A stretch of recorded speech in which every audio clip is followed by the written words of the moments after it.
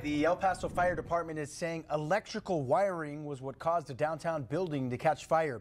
It happened on the on back of Grace Trading, uh, located at 511 South Stanton Street, Sunday night. Take a look at some of the video ABC7 crews captured of the rubble and damaged goods the fire caused. The department says the fire was knocked down within minutes and no fire marshal investigation was conducted. El Paso Electric has confirmed that it's disconnected power to the business for safety reasons. Grace Trading's owners told ABC7 that they lost over $40,000 in merchandise.